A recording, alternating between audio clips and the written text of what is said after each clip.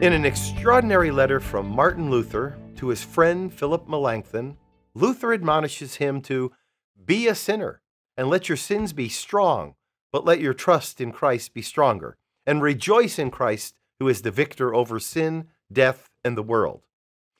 Now, at first glance, that advice doesn't seem to ring true.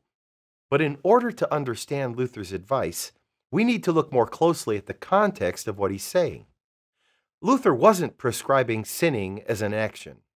Instead, he was owning up to the fact that we should be courageous in spite of our sins, setting aside the fear that God will withdraw his grace from you. His letter amounts to a reminder no matter what you've done, if you are in Christ, grace is always stronger than sin. Even if you sin 10,000 times a day, our sins would be powerless in the face of God's overwhelming mercy. This isn't to say that living rightly doesn't matter. Paul was quick to address this when he asked, What shall we say then? Are we to continue in sin that grace may increase? By no means. How can we who died to sin still live in it? As followers of Jesus Christ, we're called to imitate Christ, to love God, and to love our neighbor. But let's face it, as long as we're alive in the world, we're going to fall into sin. But we shouldn't let the fear of this eventuality overwhelm us so that we lose sight of God's faithfulness.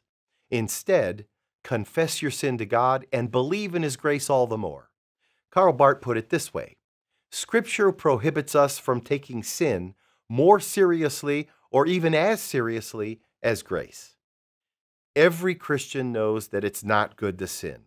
But many believers need to be reminded of how to deal with sin once we fall into it. What's the answer? Confess your sins before God and earnestly ask for forgiveness. Approach the throne of grace with confidence and trust boldly that His grace is ready, waiting, and will be more than enough. I'm Joseph Tkach, speaking of life.